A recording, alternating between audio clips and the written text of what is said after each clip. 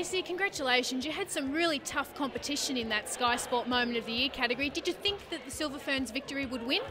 Well, it was certainly something special for us. Um, definitely was hoping that it was going to be that match because it was a real um, a turning point for the girls. At the time, how important was that win for the team? I think just in belief wise and confidence wise, both mentally and physically for us, um, it certainly started something, um, but also just showed that what we had been doing was working out on court.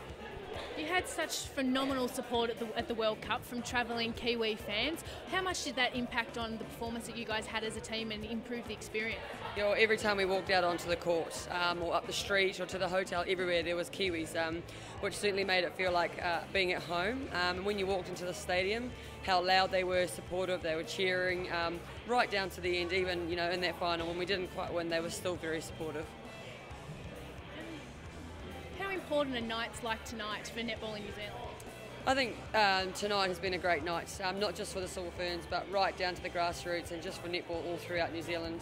Um, just making people more aware of the sport, um, but also celebrating the successes um, of the team behind the team. Obviously, this award as well was voted on by the fans and by the netballing public. How important is for the te- for the team to know that the fans are right behind them, and particularly to have won this award?